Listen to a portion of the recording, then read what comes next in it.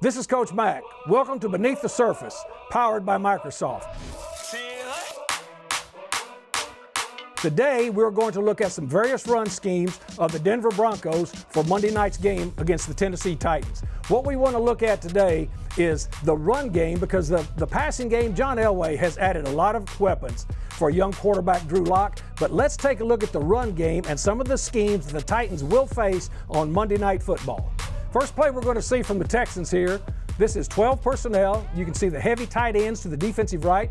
Tight end is going to come across in motion and now then come back when the ball is snapped behind the line of scrimmage. They've added a ghost reverse to this play, and then Lindsay is able to read across the line of scrimmage with his cut. He can either keep it front side or he can cut back where the tight end has come across and made what we call a crunch block on the end man on the line of scrimmage. The next play we're looking at is 12 personnel, but now the second tight end is in the backfield as a fullback. Still the same type of block, but now it comes off of a read action type of look with Freeman getting the ball, but the quarterback still having the read option type of look when you see him place the ball in his stomach and then he's reading the second level defense, whether to hand it off or to pull it and throw it.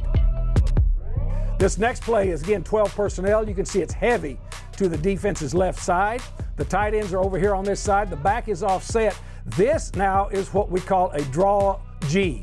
The draw G starts with the guard or the backside guard pulling the left guard from the offensive viewpoint, pull, and now this is a pin and pull play. They're pinning everybody down on the side of the line of scrimmage, and then they're pulling the backside guard. Again, this is 12 personnel. 83 is the second tight end. He is in the backfield now. Same type of crunch look, but now it's coming from the, the back is in a dot look. Watch number 83 come across, block the element on the end of the line of scrimmage. And again, Lindsay is now going to read and see which hole opens up and which linebackers eye discipline they have fooled. The last play is 11 personnel. Now they're going to bring a wideout in and insert between the tackle and the tight end to create another gap.